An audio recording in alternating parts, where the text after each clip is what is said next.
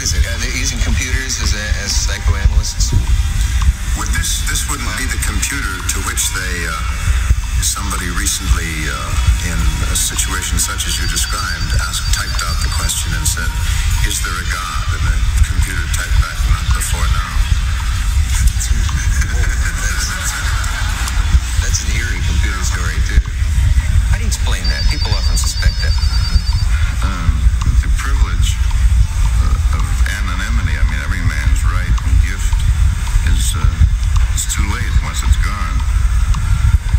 once they've seen that big